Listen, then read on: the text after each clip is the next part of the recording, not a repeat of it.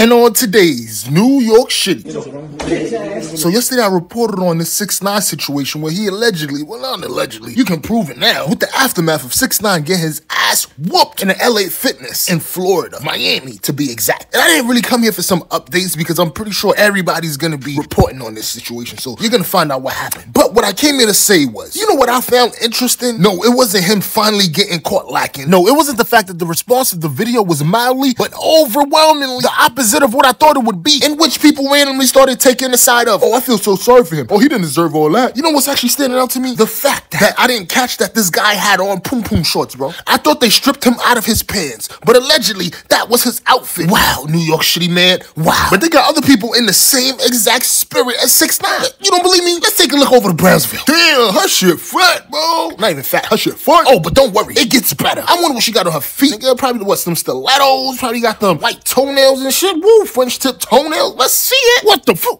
Girl, them ain't French tips. Them is French fries. Them is you need to tip them French niggas to fix those. It's why the ashes. Them shits look, man, that's like the tip of an iceberg. You look like you tippy toed all the way here from Houston, shorty. But in conclusion, yo, Brownsville, why y'all doing this? Y'all don't see the Bronx is leading the way for dirtiest borough as they should. Why y'all trying to bring the crowd back to Brooklyn, Brownsville? Come on.